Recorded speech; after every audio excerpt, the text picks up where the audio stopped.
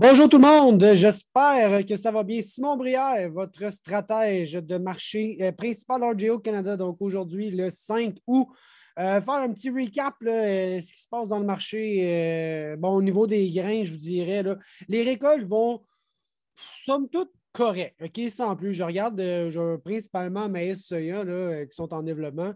Je vois 2021 ici. Là. Vous voyez, ce n'est pas une année de condition. Hein. Je regarde s'il est de bon ou d'excellente qualité. C'est pas.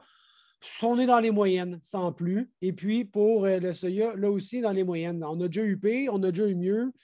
Donc, c'est une année correcte. OK? On ne pense pas qu'en termes de rendement, on va avoir des indications la semaine prochaine dans les bilans USDA on pense qu'on risque d'être aux alentours de ce trend line-là.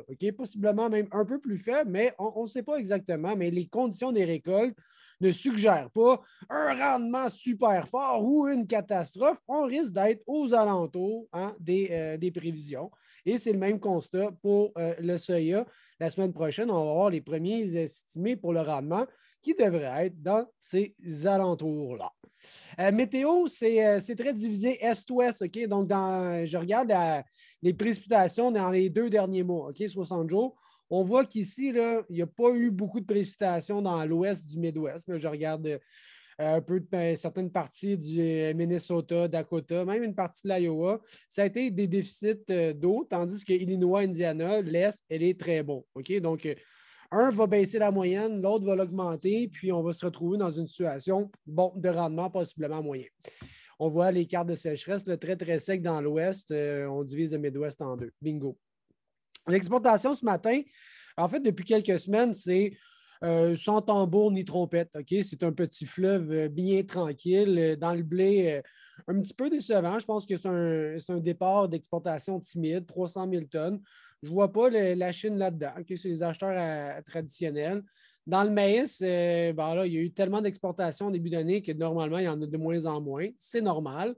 Pour la nouvelle récolte, on voit qu'il y a du booking, quand même 800 euh, 000 tonnes. Nos acheteurs traditionnels, c'est au Canada, on a fait rentrer de l'importation, j'imagine. Hein. on a importé du, du maïs hein, pour nos déficits locaux. donc, ça, va bien. Du booking nouvelle récolte, ça va. Je ne vois pas la Chine, par exemple. Oh, peut-être. Euh, soya, ben écoute, euh, il y, en a tellement exporté qu'il n'en reste plus. Euh, c'est insignifiant les quantités qu'ils vendent actuellement.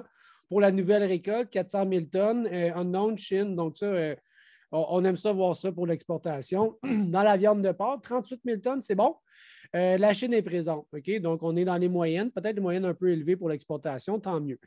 Dehors canadien, je regarde ça. Bon, ça fait quand même un petit peu de statistiques.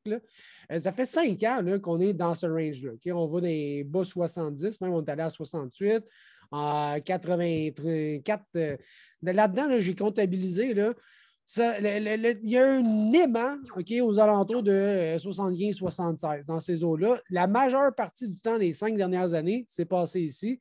Là, on est plus aux alentours de 79-80, puis on a même été quasiment à 82-83. Donc, euh, éventuellement, c'est fort possible qu'on va sortir de ce range-là, mais pour les, le moment, depuis cinq ans, 75 cents dans la pièce, c'est pas mal euh, ce que le dollar canadien euh, aime bien transiger. OK? Donc, faites attention. Ça vous donne un peu de perspective en ce moment là, pour dire que, bon, 75 cents, je ne sais pas si on s'en va là, est-ce qu'on est un petit peu plus élevé, mais beaucoup, beaucoup de, de stabilité dans ces niveaux-là.